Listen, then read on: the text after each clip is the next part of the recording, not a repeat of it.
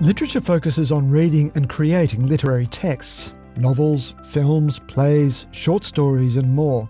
In literature, we look at ways to challenge ideas and interpret texts, to understand deeper language and meanings within them. The aim of literature is to develop students' ability to be independent, innovative, and creative. Literature will help you explore how literary texts shape our perceptions of the world, letting us enter the worlds of others.